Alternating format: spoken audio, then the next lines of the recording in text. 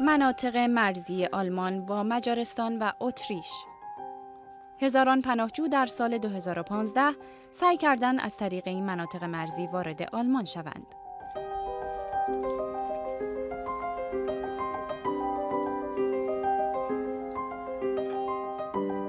در ایالت بایرن در جنوب آلمان هستیم. در این روستا در نزدیکی مرز اتریش 300 نفر زندگی می کنند.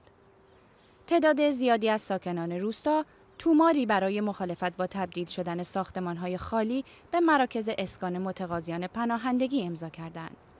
کریستیان یکی از بنیانگذاران این جنبش محلی ما را به جنگل‌های اطراف روستا می‌برد. امروز از پناهجویانی که می‌خواهند وارد خاک آلمان بشوند کمتر استقبال می شود. کریستیان از فقدان همبستگی، عدم کنترل مرزها و نقض قوانین در اروپا انتقاد می کند.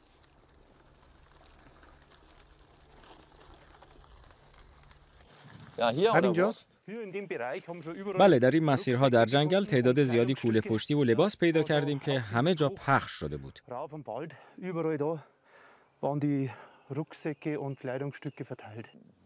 گروهی حدود ده شب به خانه شما آمدن. درست است؟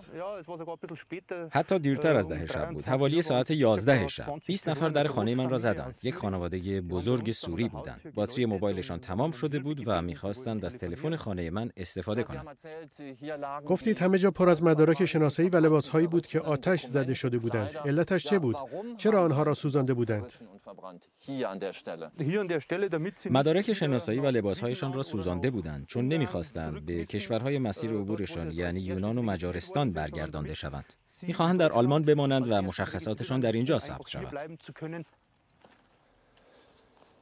شما به واسطه شغلتان که آرایشگری است با افراد زیادی حرف می‌زنید. نظر مردم محلی در این باره چیست؟ کنترل مرزی باید شدیدتر باشد. این نظر من است. کنترل باید بیشتر باشد. باید دید چه کسانی حق برخورداری از حمایت های متقاضیان پناهندگی را دارند. چه کسی نیاز دارد و چه کسی نیاز ندارد. کسانی که به دلایل اقتصادی کشورشان را ترک کرده و فقط برای کسب پول و درآمد به آلمان میآیند باید بازگردانده شوند. به اینگولشتات یکی از شهرهای استان بایرن می رویم شهری که در آن نرخ بیکاری پایین است. در حومه شهر ناحیه‌ای را پیدا می کنیم که پر است از کانتینرهایی که تبدیل به محل زندگی متقاضیان پناهندگی شده. اغلب کسانی که با درخواستشان مخالفت شده و از کشورهای بالکان غربی به اینجا آمدند. اما آلمان می‌خواهد آنها را به کشورشان بازگرداند. آلمان قصد دارد مقررات و قوانین مربوط به متقاضیان پناهندگی را سفت و سختتر کند. این برنامه مخالفانی نیز دارد. این گروه داوطلب حمایت از پناهجویان شرایط این اردوگاه را زیر نظر دارند. اجرای سختگیرانه تر قوانین مربوط به اخراج متقاضیان پناهندگی که از آسیا و آفریقا میآیند، موج جدیدی از مهاجرت را در داخل اروپا ایجاد کرده. این مرد اهل جمهوری یوگسلاوی سابق می‌گوید بعد از اینکه برای دومین بار خواستمان برای برخورداری از حمایت های مخصوص و متقاضیان پناهندگی در دادگاه رد شد با همسرم حسابی ترسیده بودیم و تصمیم گرفتیم از اینجا برویم او با بچه ها به هلند رفت سخت است نمی‌دانید کجا باید بروید همسرم می‌خواهد مراقب بچه ها باشد در ایالت بایرن طرح جدیدی اجرا می شود. گروه های بزرگ متقاضی پناهندگی در مراکز پذیرش اولیه موسوم به مراکز لنگر اسکان داده می شوند و باید تا زمان تصمیم گیری درباره تقاضایشان در این مرکز بمانند. در صورت عدم موافقت با درخواست پناهندگی می توانند به دادگاه شکایت کنند. در نتیجه مدت زمان بررسی پرونده طولانی تر می شود و گاهی مجبورند تا 18 ماه در این مراکز بمانند. کنتانین موریتس و لیزا شما سه نفر از مدتها پیش جزو این گروه هستید و مردم به شما اعتماد می کنند. به شما چه می‌گویند؟ معایب و محاسن این تر چیست؟ این افراد سعی می کنند از این مراکز بیرون بروند. از ما می خواهند برای طی مراحل قانونی کمکشان کنیم. نمی خواهند مدت طولانی در اینجا بمانند. گاهی مجبورند دو سال و نیم صبر کنند. اخیرا حدود دو ماه پیش شاهد رسوایی بزرگی بودیم. دولت شروع کرد پول کمتری به آنها بپردازد. آنها نمی‌دانستند چرا و از ما میپرسیدند چه اتفاقی افتاده و چرا دولت می‌خواهد سیستم را تغییر دهد و به جای پول نقد به آنها کمک غیر نقدی بکند. Weil die bayerische Regierung möchte vor allem jetzt umsteigen auf Sachleistungen und kein Geld mehr auszahlen. اردوگاه های بزرگ یا مراکز غیر متمرکز اسکان پناهجویان. مسئله این است. دولت فدرال می‌گوید اردوگاه های بزرگ بهتر است زیرا سریعتر می‌توان به روند تصمیم گیری درباره وضعیت این افراد رسیدگی کرد و این مراکز باید در سراسر اروپا وجود داشته باشند. نظرتان چیست؟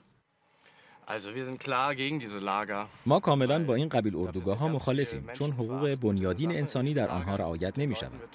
با این افراد به خوبی رفتار نمی شود. این اردوگاه ها به مراتب بیشتر از مراکز غیر متمرکز اسکان مشکل ساز است. کسانی که در اینجا هستند گاهی به خاطر استرس با هم درگیر می شوند چون افراد زیادی باید در فضای کوچک بمانند. کنستانتین خیلی با دقت به حرف همکارانتان گوش می کنید. به نظرم حرفی برای گفتن دارید. این افراد مدام دلشوره دارند. می ترسند اخراج شوند. هر هفته پلیس تعدادی از آنها را جمع می کند و با خود می برد. همه تمام شب سر و صدا را می شنوند. حوالی پنج و شش صبح سر و صداها بیشتر می شود. علاوه بر این اتاقها کلید ندارد. در حمام را نمی توان قفل کرد. کسانی که اینجا زندگی می کنند تمام مدت احساس ترس و عدم امنیت دارند. شهر پاسوا در آلمان در نزدیکی مرز اتریش و جمهوری چک قرار دارد. یواخیم هرمان وزیر امور داخلی و مارکوس سودر نخست وزیر ایالت بایرن مغز متفکر قوانین سختگیرانه جدید برای متقاضیان پناهندگی هستند. گشت زدن در مناطق مرزی بایرن بخشی از برنامه جدید سیاستمداران محافظه کار این ایالت است. در این طرح بودجه 14 میلیونی برای تقویت پلیس مرزی بایرن در نظر گرفته شده. در مرز هستیم چه کسانی بازگردانده می شوند؟ پناهجوها باید فرمهای درخواست پناهندگی را همان جایی پر کنند که از آن وارد خاک اتحادیه اروپا می شوند. حق ندارند تصمیم بگیرند به کدام کشور بروند. حق ندارند برای دومین، سومین یا چهارمین بار و در کشورهای مختلف اروپایی درخواست پناهندگی بکنند. به درخواستشان باید در همان کشوری که در آن وارد می شود رسیدگی شود و همان کشور هم باید دربارهشان تصمیم گیری کند. به همین دلیل به نظر ما بهتر است این افراد را به همان کشوری بازگرداند که برای اولین بار در آن درخواست پناهندگی کردهاند. از نظر مارکوس سودر نخست وزیر بایرن مقررات آزادی عبور و مرور میان کشورهای شنگن در صورتی به خوبی عمل می کند که کنترل در مرزهای شنگن شدیدتر باشد.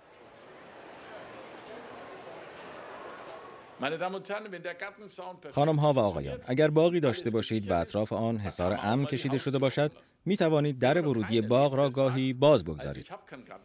اما هیچ وقت در باقی را که حصار ندارد تمام شب باز نمی گذارید اگر نتوان ایده اروپایی که حمایت می کند را اجرا کرد همه چیز فرو خواهد باشید و چه بسا ثبات دموکراسی به خطر بیفتد.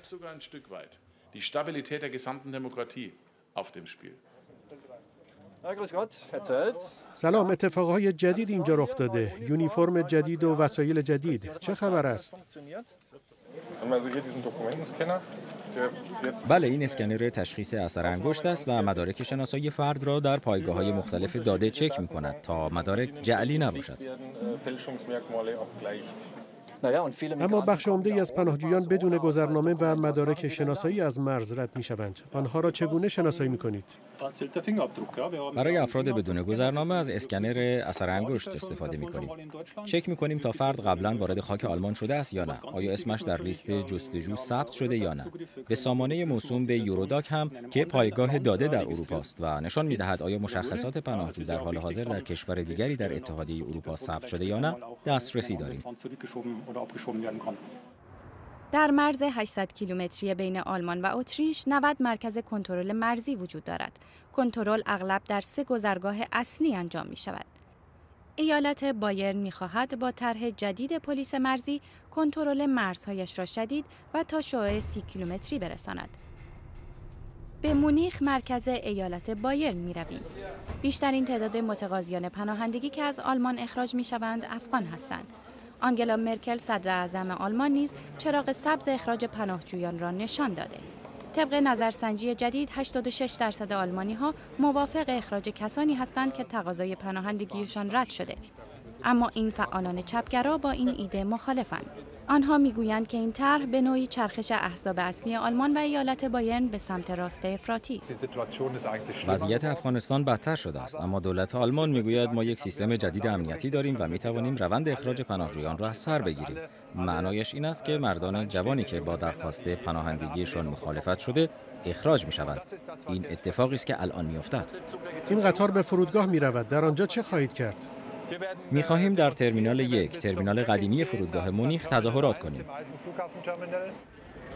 شورای پناهندگی بایرن سازمان غیردولتی حمایت از پناهجویان مخالف اخراج و سختگیرانه تر شدن روند بررسی تقاضای پناهندگی است.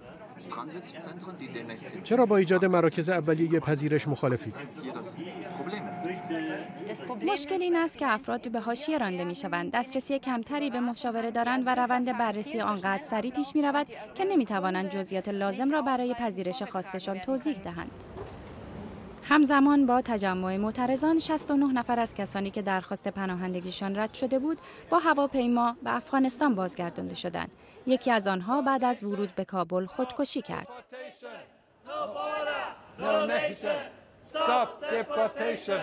این زوج مسافر لندن هستند آنها افغان تبارند و اما سالها در بایرن زندگی می کردند. نظرتان درباره اعتراض به اخراج پناهجویان افغان چیست؟ من با اخراج پناهجویان مخالفم. وضعیت افغانستان خیلی خیلی بد است. تقریبا هر روز یک جا در کشور شاهد حمله انفجار یا بمبگذاری انتحاری هستیم. مردم هر روز کشته می شوند.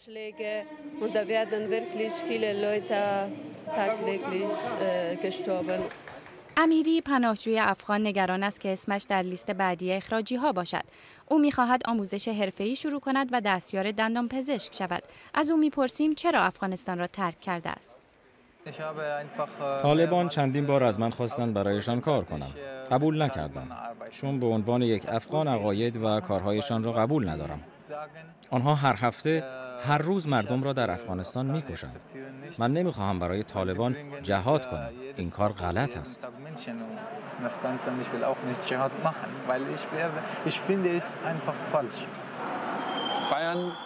ایالت بایرن دقیقا همان کاری را می کند که ویکتور اوربان در مجارستان انجام می دهد. می خواهند سیاست های مشابه اوربان را در آلمان اجرا کنند. بایرن همیشه یکی از ایالت هایی بوده که قوانین سختگیرانه دارد. با انتخابات منطقه‌ای آتی بایرن این روند سختتر هم می شود. در شهر رکسونبورگ در شرق بایرن هستیم. اینجا معمولا اجازه فیلمبرداری از مراکز اولیه پذیرش پناهجویان به خبرنگاران داده نمی شود. اما امروز این امکان برای ما فراهم شده.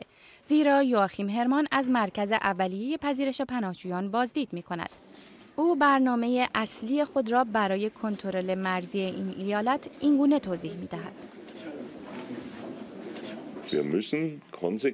باید این طرح را جدیتر به اجرا بگذاریم. کسانی که اجازه ماندن ندارند باید از آلمان اخراج شوند. حاکمیت قانون در معرض خطر قرار دارد. وزیر امور داخلی بایرن مشغول بازدید از بخش اداری اردوگاه است. رسانه ها اجازه فیلمبرداری از داخل مرکز را ندارند. خبردار می شویم که از داخل اردوگاه فضا متشنج است. از طریق واتساپ اخبار تایید می شود گروهی از پناهجویان اتیوپیایی راه هیئت همراه وزیر را به نشانه اعتراض سد کردند. نیروهای امنیتی مجبور می شوند یاخیم هرمان را از در پشتی بیرون ببرند. کمی بعد سه نفر از این افراد را می بینیم. دلیل اعتراضشان را از آنها می پرسیم. غذای بهتر، مراقبت های پزشکی، اجازه کار و دسترسی به کلاس زبان آلمانی بخشی از مطالبات آنهاست. می‌گویند می‌خواهند از اینجا بیرون بروند میپذیرند به شرط مخفی ماندن هویتشان با ما حرف بزنند مشکل دقیقا کجاست با درخواست پناهندگی تمام متقاضیان اتیوپیایی مخالفت می شود. ما در اردوگاه های مخصوص اخراج پناهجویان زندگی می کنیم. گفتید اردوگاه اخراج؟ کسانی که در این اردوگاه ها زندگی می کنند می ترسند. نتیجهش چیست؟ The fear of the people living there. They can't sleep the whole night. Most people of most people are شبها نمی توانند بخوابند. می ترسند به یکی از کشورهای اروپایی یا حتی کشور خودشان مثلا اتیوپی بازگردانده شوند. از ترس نمی توانند بخوابند. به سرحد جنون رسیدند.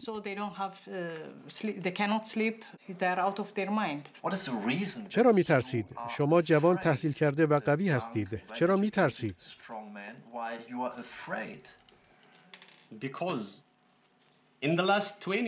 طی 27 سال گذشته هزاران نفر از سیاستمداران، کنشگران اجتماعی و دانشجوها در خیابانهای اتیوپی کشته شدند. صد هزار نفر در زندان هستند. من یکی از این قربانیانم. نیروهای دولتی برادرم را کشتند. من را تعقیب می کردند. می خواستند به من چاقو بزنند و تجاوز کنند.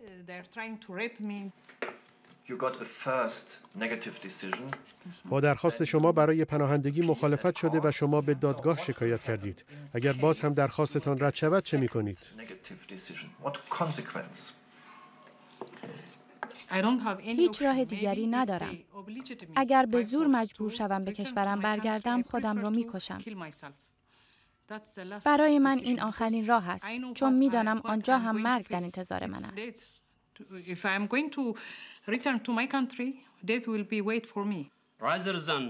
من ترجیح می دهم خودم را بکشم تا اینکه به کشورم برگردم.